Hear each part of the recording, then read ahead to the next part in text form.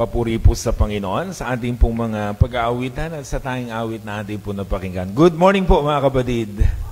Happy New Year po sa inyong lahat. Ano, bagong-bago pa naman ang taon. Hani? 2 Corinthians chapter 13 verse 5. Examine yourselves to see whether you are in the faith. Test yourselves. Isa po sa napakagandang dapat gawin ng bawat isa sa atin, lalo na ngayong bagong taon, is to examine ourselves para makita yung mali na dapat nang baguhin at makita yung mga tama nating ginagawa na kailangan nating ipagpatuloy. Yan ang sinabi ni Apostol Pablo sa mga kapatid sa Korinto.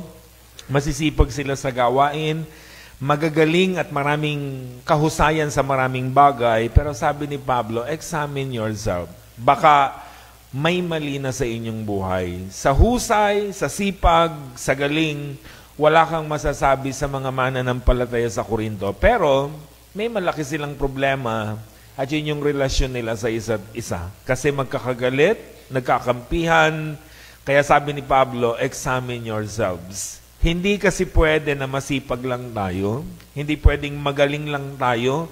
Hindi pwedeng may ministry lang tayo.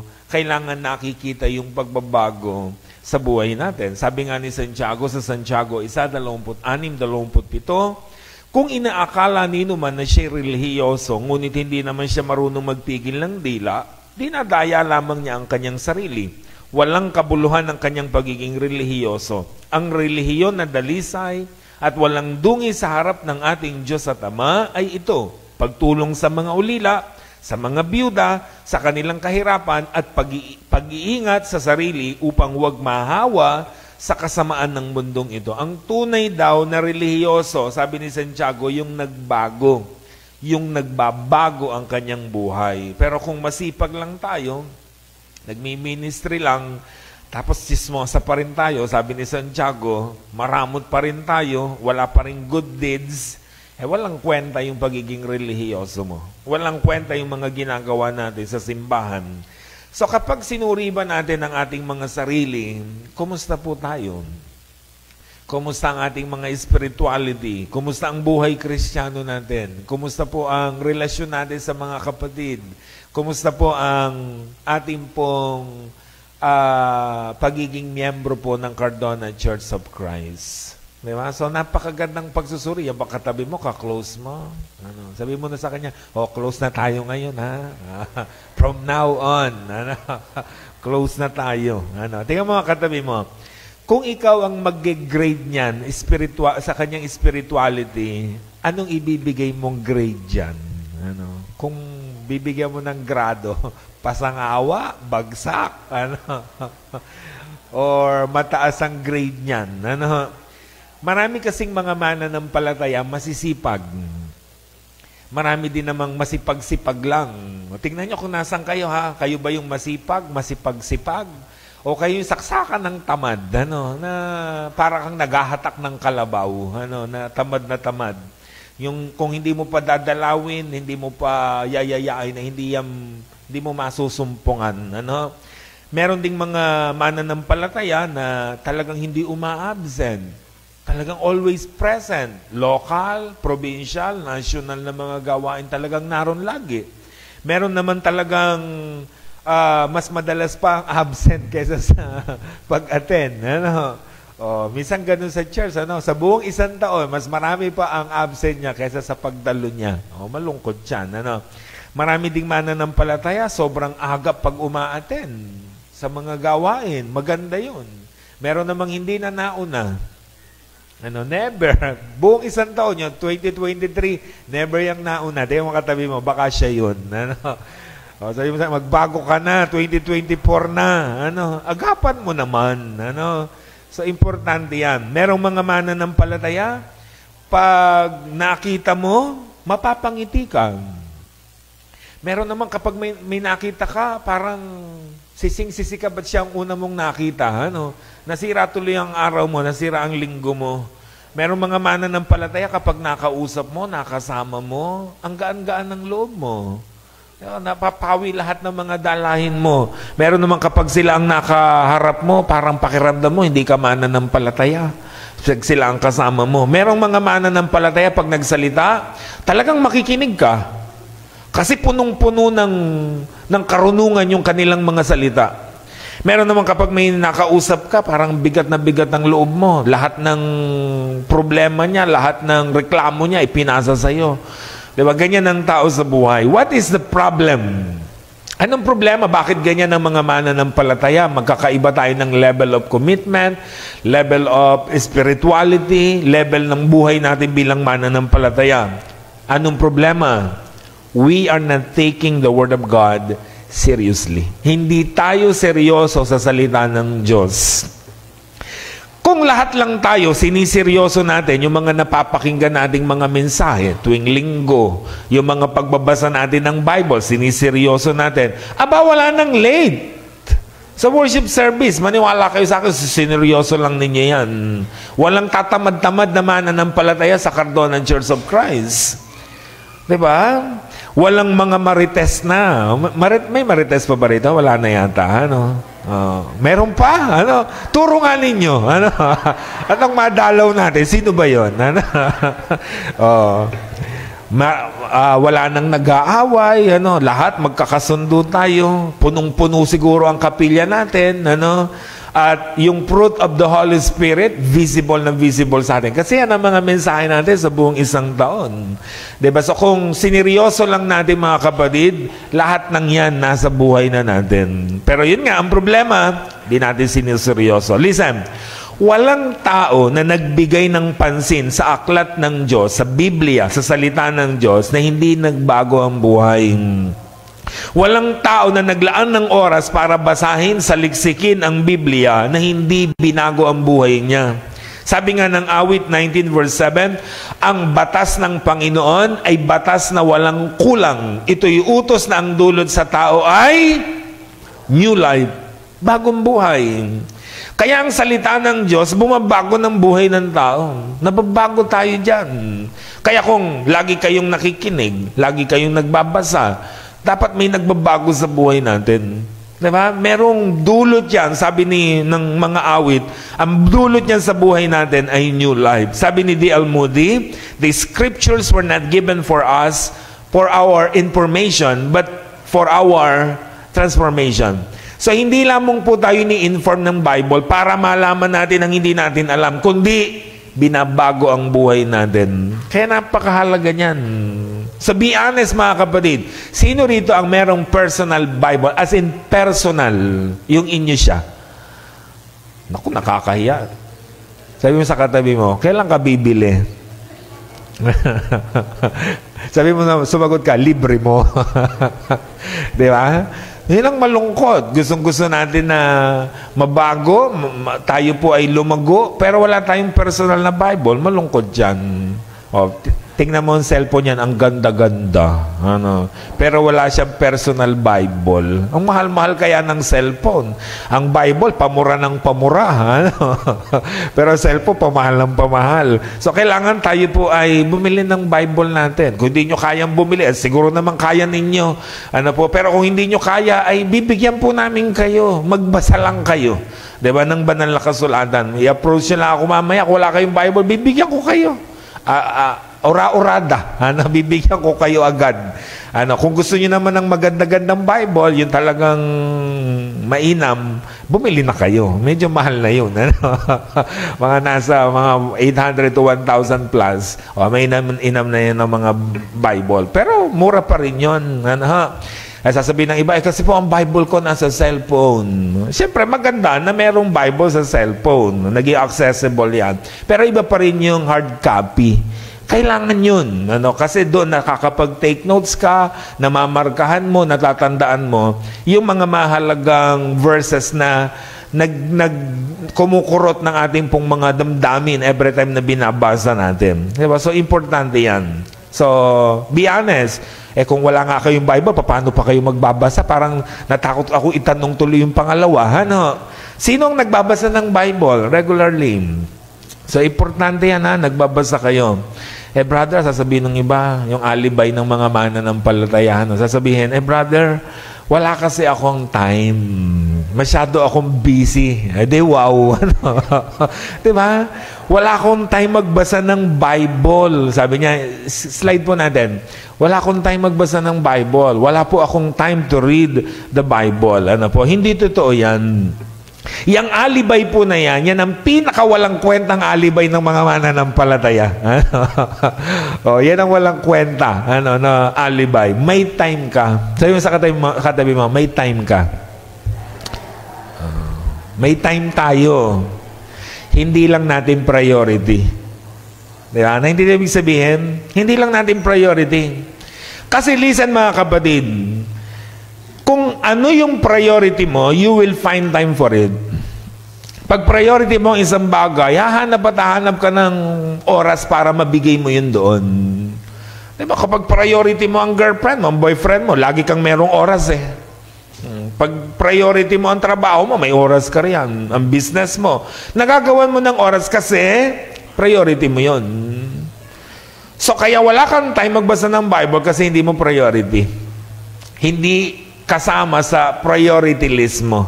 So kung ilalagay mo yan sa priority list, magkakaroon ka ng time. So ito nawa ang maging priority natin.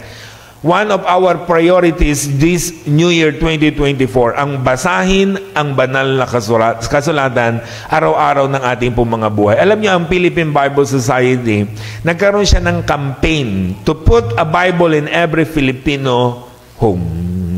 Kaya yung mga Bible natin na ginawa ng Philippine Bible Society, mura natin nabibili yan eh. Lalo yung mga binibili natin para sa mga prospects po natin. Pag bumibili tayo, minsan ay mga 100 pieces agad. Ganyan. Nabibili natin yan 50 to 60 pesos. Oh, 60, 70 ganyan pag magpapadeliver ako. Pero kung tayong pupunta ron, 50 pesos lang. Ganong kamura pero mahal yun. Ano, pag, pag binili mo talaga, ano, medyo siguro mga 400 to 500 pesos yung ganong mga printing. Ano po. Pero binebenta nilang mura kasi ang goal ng Philippine Bible Society, ang campaign nila is to put a Bible in every home.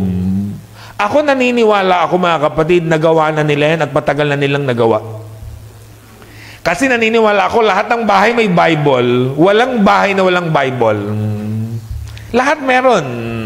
May maliit, may malaki, may old, may new.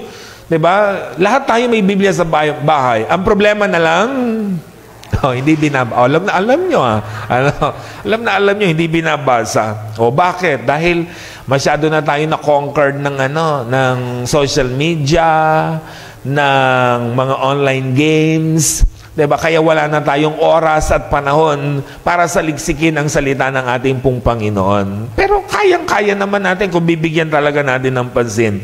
May isang kabataan papasok sa Manila, pinabaunan siya ng Bible ng kanyang nanay. Sabi nung nanay niya, bili niya kasi mapapalayo. Sabi niya, basahin mo anak ang Bibliang ito every day and the Lord will bless you. Sabi niya. So every day, tinatawagan siya ng nanay niya, Anak, nagbasa ka ba ng Bible? Opo, ah, nanay. Lagi namang sumasagot ng opo, pero hindi naman. Diba? Kinabukasan, tanong, nagbasa ka ba ng Bible, anak? Opo, nanay. Opo, laging ganon. Dumating isang araw na kailangan ng pera yung bata. Sabi niya, Nanay, kailangan ko po ng 5,000. Magpadala po kayo agad. I-Gcash nyo. Ano? sabi nung nanay, eh anak, sabi mo nagbabasa ka ng Bible. Sabi nung nanay, sabi ko sa iyo, di ba, pag nagbasa ka ng Bible, the Lord will bless you. Sabi nung anak, nanay, opo, nagbabasa ako ng Bible. Sabi nung nanay, hindi ka nagbabasa. Kung nagbabasa ka, hindi mo na kailangan ng pera. Bakit nanay? Sabi niya, eh kasi bawat chapter ng Bible mo merong 1,000. Pero mo, kada chapter, ano, may 1,000. O, hindi ka nagbabasa. Sarap siguro magbasa ng ganun, ano? Gusto niyo ba yung ganun? Yung mga anak niya, regaluhan niyo ng Bible kada chapter. Ha? Chapter, ha? Hindi book, ha? Kada chapter may 1,000. Baka mayat maya, magbabasa tayo, ano? Ang sarap nun, ano? I encourage all of you to learn the habit of reading God's Word. Walang literal na 1,000 peso bill sa bawat pahina nito. Pero higit pa doon ang makukuha nyo. Ang kailangan lang buklatin nyo, basahin nyo, in a daily basis, yan ang kailangan natin gawin. We believe that the Bible is God's Word. Tama? We believe that the Bible is our spiritual food. We believe that the Bible is a book of blessing. And yet, we don't read it. Pinaniniwalaan natin yon pero hindi natin binabasa. Yun ang malungkot. Anong problema? May problema ba? Kaya may request po ako sa inyo mga kapatid. Simulan natin ang taon natin, 2024, at tapusin natin ito na nagbabasa tayo ng Biblia. Pwede po ba yan mga kapatid? Parang hindi kayo uh, ano sang-ayon. Yung madaling araw, sang-ayon na sang-ayon eh. Ano, pwede po ba na simulan natin at tapusin ang taon natin na nagbabasa tayo ng Bible? Okay, papuri sa Panginoon. Let's start again. Kung meron na kayong Bible reading, kasi natapos na natin yan, uulitin natin. Doon sa mga hindi pa, kung nasan man kayo, ituloy ninyo. Pero doon sa mga magsisimula ulit, let's start in Genesis 1 to 5. Five chapters only every week. Ma makonti na yan, apakakonti na yan. Pinakokonti na natin para sa inyong ano, uh, convenience. Ano po? Just five chapters a week. Basahin niyo ang Bible, mga kapatid. In a systematic way, let's start in Genesis. Hanggang matapos natin yan, hanggang matapos natin hanggang Revelation. Five chapters a week. By the way, January is National Bible Month.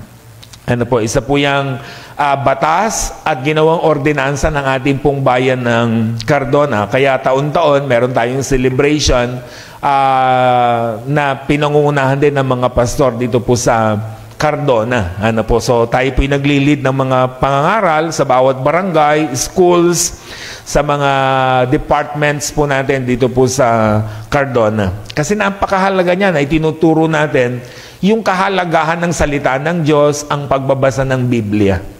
Ano? So, paano nila matututunan yun kung tayo mismong mga mananampalataya hindi natin ginagawa?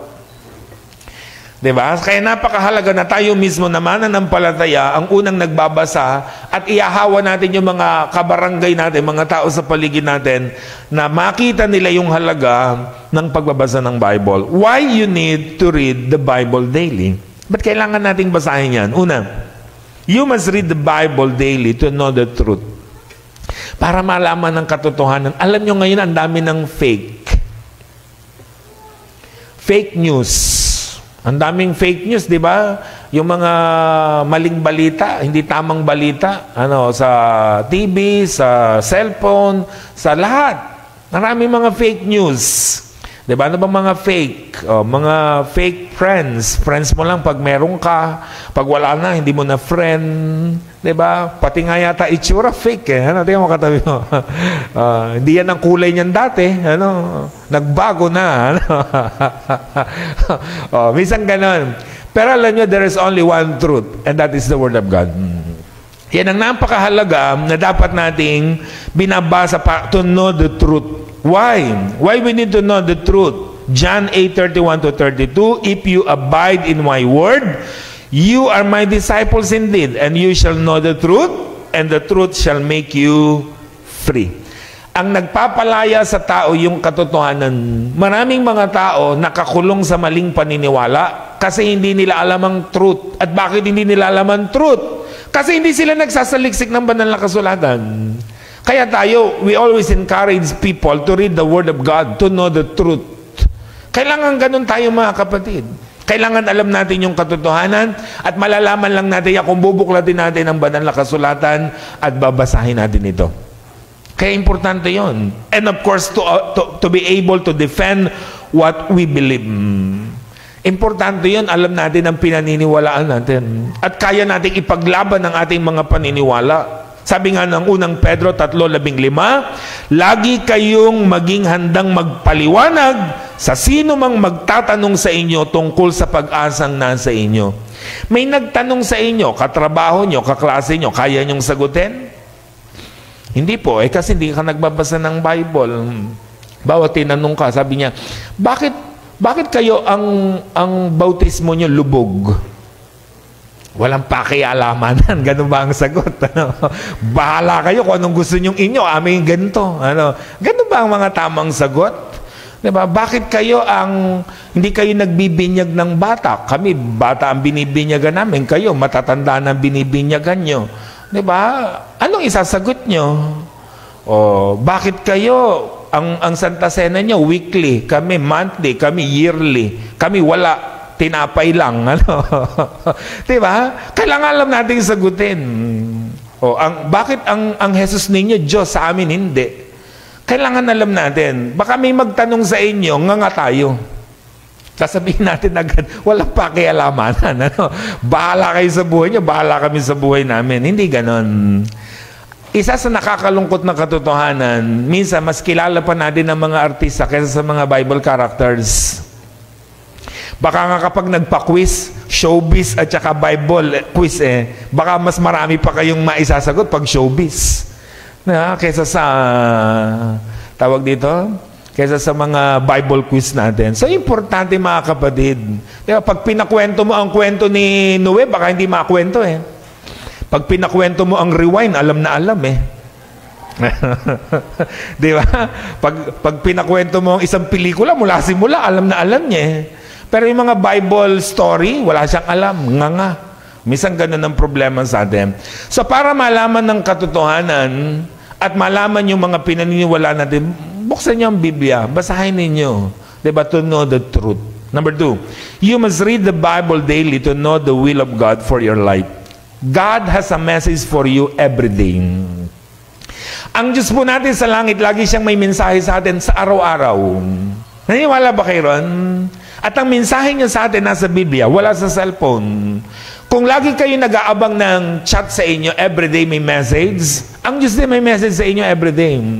Ang problema sa atin, hindi natin binabasa yung message niya sa atin everyday. Everyday may guidance siya sa atin. Everyday may meron siyang message para sa bawat isa sa atin. Kailangan buksan ang Biblia, basahin natin ito. Di ba? Importante yun. Pero wag naman natin yung parang magic. Di ba? Merong mga nabibili yung merong mga verses na ano, iba-iba. Tapos yung bubunot ka. Nakakita na ba kayo? Sabi mo, Lord, may problema po ako ngayon. Ano pong kailangan kong gawin? Pagbunot mong ganon. Nakalagay ay Mateo 27.5, sabi ganto, Inihagis ni Judas sa loob ng templo ang tatlumpung pirasong pilak at pag-alis doon siya'y nagbigti. Lord naman! oh, kaya ingat po kayo, hindi ganun ang pagbabasa ng Bible. Ang pagbabasa ng Bible in a systematic way. ba? Diba? Simulan mo sa simula, tapos doon sa simulang yan, may mensahe ang Diyos para sa iyo. Maniwala kayo may mensahe ang Diyos para sa atin. Huwag natin gawin ng ganyang mga bagay. Ano po? Halimbawa, gusto mo ng guidance about pag-aasawa. Alam niyo, ang Bible, kompleto yan. Kung gusto mong malaman paano maghanap ng mapapangasawa, nasa Bible yan. Gusto mong malaman paano maging magulang, paano magpalaki ng bata, nasa Bible yan. Gusto mong magkaroon ng kaalaman tungkol sa pagiging anak, papaano magmamahal ng magulang, nasa Biblia yan. ba? Diba? Lahat ng kailangan mo, papaano magkakasundo pag merong kaaway, papaano tayo magkakaroon ng reconciliation, nasa Biblia yan. Paano aasenso ang buhay, gaganda ang buhay, nasa Biblia rin. Lahat ng kailangan natin nasa banal na kasulatan. Kaya kailangan lang basahin natin ito. Pag bumibili tayo ng mga gamit, appliances, gadgets, meron niyang kung tawagin manual. Alam niyo ba yan? Bago niyo gamitin ang isang bagay na binili ninyo, binubuksan yung manual para alam nyo paano i-assemble, paano gamitin, saan yung on, saan yung off, paano ga- gagamitin, ilang oras, ilang charge, etc., etc. Para malaman mo at maging tama ang paggamit mo ng appliances o ng gadget na binili mo. Kasi meron siyang manual how to use it. God in heaven created us at binigyan niya tayo ng isang manual and that is the Bible. Kung gusto nyong malaman kung anong gamit natin, kung bakit tayo nilagay sa mundong ibabaw na ito, basahin niyo yung manual ninyo. Yung manual natin, the Word of God. Makikita natin kung ano tayo, sino tayo, at bakit tayo nilikha ng ating pong Panginoon. Kaya napakahalaga ng pagbabasa ng kasulatan. Number three, you must read the Bible daily to feed your spiritual life. Para pakainin natin ang spiritual na buhay natin. Kapag tayo po ay nagkakasakit, ano ang unang mangyayari sa atin? Mamamayat tayo. Tama? Oh, kaya kung gusto ninyong mamayat, ano, eh yun lang naman sikreto pag nagkasakit ka. Kasi pag nagkasakit tayo, ano nangyayari? Wala tayong ganang kumain.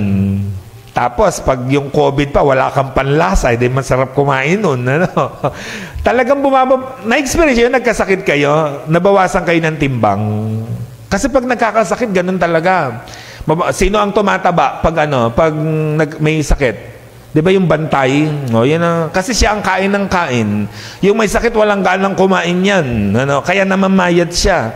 Uh, lumiliit ang kanyang katawan. Lalo na kung mahabang panahon o matagal na panahon siyang may sakit. Isang linggo, dalawang linggo, isang buwan na nagkakasakit. Talaga mamamayat 'yun. Kasi wala siyang ganang kumain. Anong application ng mga kapatid sa buhay nating espiritual? Pag wala kayong ganang kumain ng salita ng Diyos, may sakit kayo. At dahil may sakit kayo, mga ngayayat kayo. Magiging malnourished ang ating spiritual body. Our body need nourishment. Ba? Diba? Ganon din po ang spiritual life natin.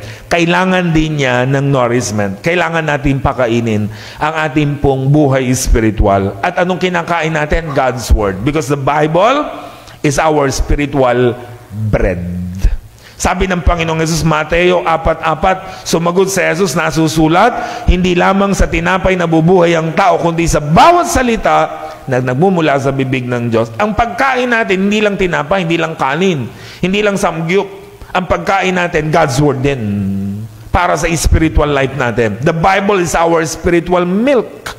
Kasi nung unang panahon naman, ang pagkain nila, bread and milk. Yan yung common food nila. Kaya sabi ng mga mananampalataya noon, ikino-compare nila yung God's Word na isang pagkain, uri ng pagkain, isang bread at isang milk. Diba? Sabi ng unang Pedro, dalawa-dalawa, gaya ng sanggol, kayo'y manabik sa dalisay na gatas na espiritual upang lumago kayo. Kaya napakahalaga niyan. Binabasa ang Biblia. Ano, sabi mo sa katabi mo, huwag mong gugutumin ang espiritu mo.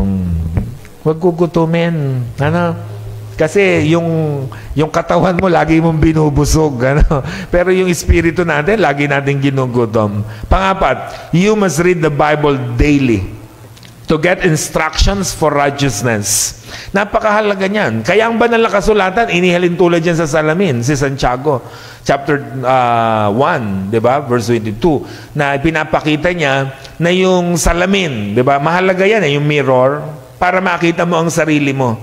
Kasi aayusin niya yung panlabas. Pero ang salita ng Diyos, ang inaayos niya yung loob natin.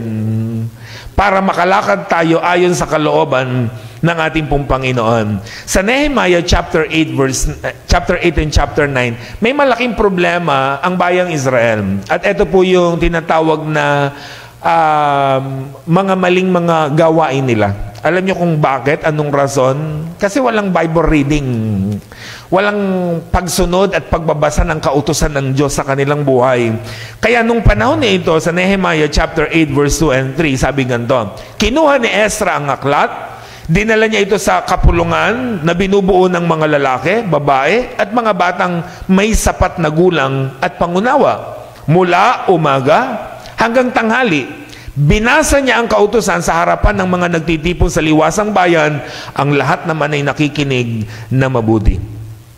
So, nagkaroon ng Bible reading. Binasa ang kautusan ng Diyos sa lahat ng mana ng, ng sa lahat ng tao, sa lahat ng bayan ng Israel. Binasa 'yon, 'di ba? Then sabi roon mula tanga, mula umaga hanggang tanghali. At lahat naman ay nakinig na mabuti. Anong nangyari? Verse 9. Nang malaman ng mga tao ang dapat nilang gawin, ayon sa kautusan na bagbag ang kanilang kalooban, ano ba't sila'y napaiyak? So nung maramdaman nila yung mensahe ng Diyos sa kanila, habang binabasa yung kautusan, lahat sila humahagulgol. Kasi nakita nila ang kanilang mga pagkakamali, lahat ng kanilang mga pagkukulang, ang buhay nila na dapat nilang ayusin. Nakita nilang lahat yun, kaya sila napaiyak. Nakita nila yung dapat nilang gawin ayon sa kautusan ng ating pong Panginoon. So napakahalaga. Nagkaroon ngayon ng transformation sa buhay ng mga anak ng Diyos dito sa Israel. Tayo po, anong pakiramdam nyo pag na- nakikinig kayo ng mensahe? Inaantok, ano, ano pa, nasasaktan, ano.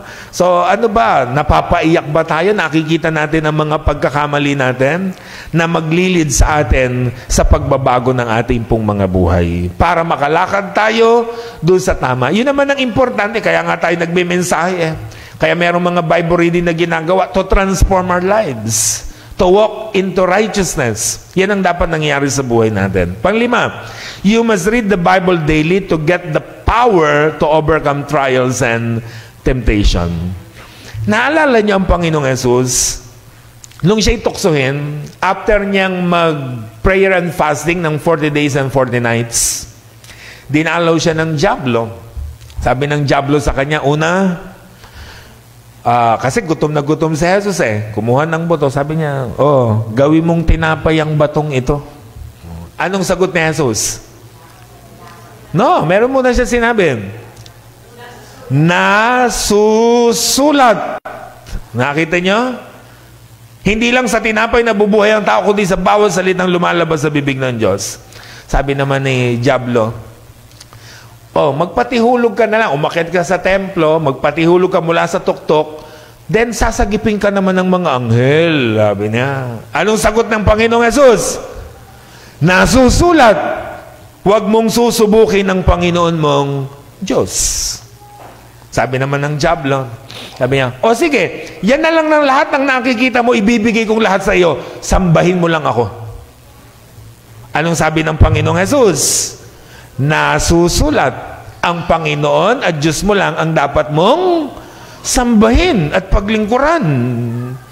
Pero ang keyword natin, ang sinasabi ng ating Panginoon lagi, nasusulat. Alam niya ang kasulatan. Alam niya ang salita ng Diyos. Kaya meron siyang sapat na kapangyarihan, kalakasan to overcome trials and temptations.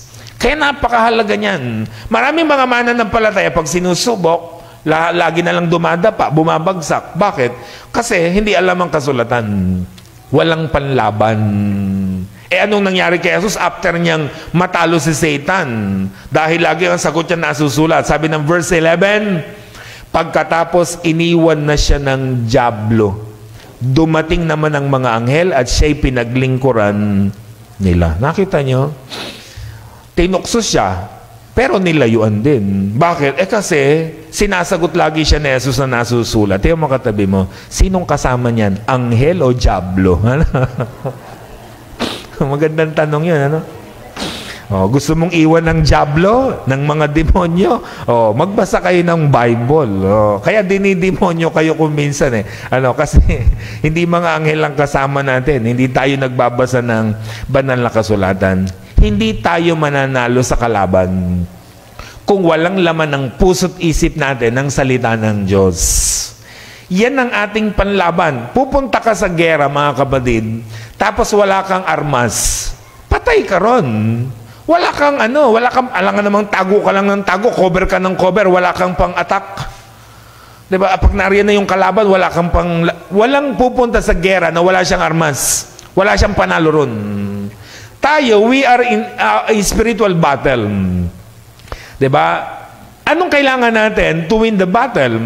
Hindi lamang yung baluti, hindi lamang yung helmet, hindi lamang yung pansangga ang kailangan natin, kailangan din natin ng armas.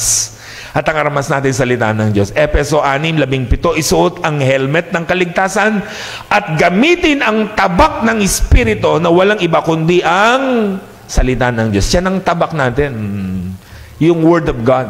Yan ang panlalaban natin sa anumang gawa ng kaaway. And number six, you must read the Bible daily to have successful and prosperous life. Sabi ko nga sa inyo last week, huwag niyong iasa sa swerte ang 2024 niyo.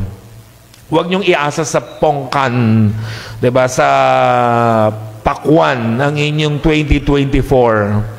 Huwag niyong iasa ang 2024 nyo sa orasyon nyo, sa lucky color nyo, sa zodiac sign ninyo. ba? Diba? Sa, ano bang year ngayon? Year of ano? Ano na? Hmm? Year of the Lord ngayon. Ano mga kapatid? Talagang kayo ha? Hindi na babago yon. Year of the Lord lagi ha? Oh, alam nyo na ha? Ah, year of the Dragon ba? Talaga namang kayo ha? Uh, kaya mga dragon ng mga ano natin. Year of the Oh, wag niyong kakalimutan 'yan. Eh kaya ang ang buhay natin kung ano mangyayari sa atin. Pag dragon ang ginawa ninyo, year of the Lord tayo mga kapatid. Huwag niyong iasa sa ganyang mga bagay. ba? Diba? At nagbigay ng formula ang Diyos how to be successful and prosperous.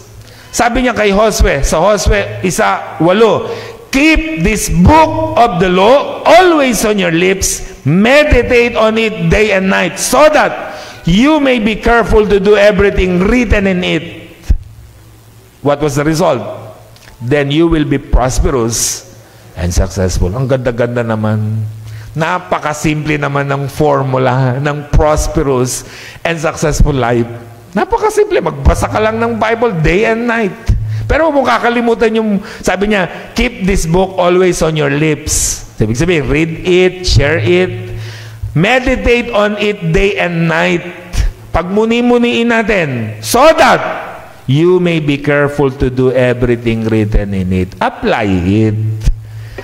Because after you apply it, ano mangyari? The Lord will give you pros prosperous and successful life.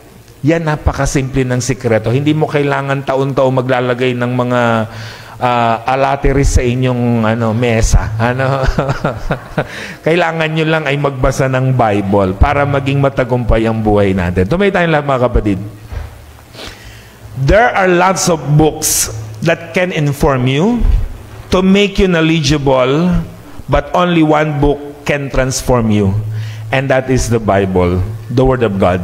Kaya make it a habit to read God's Word daily. Sama-sama nating basahin ang salita ng Panginoon mula sa araw na ito hanggang matapos ang taong ito.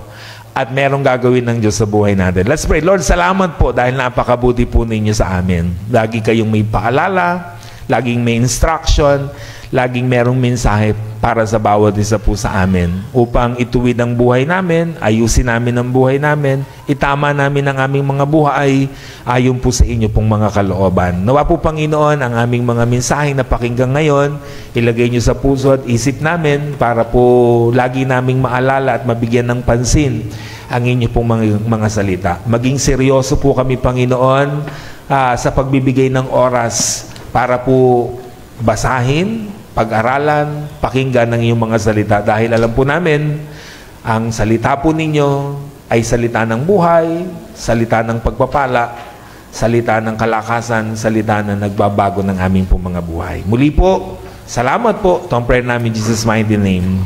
Amen.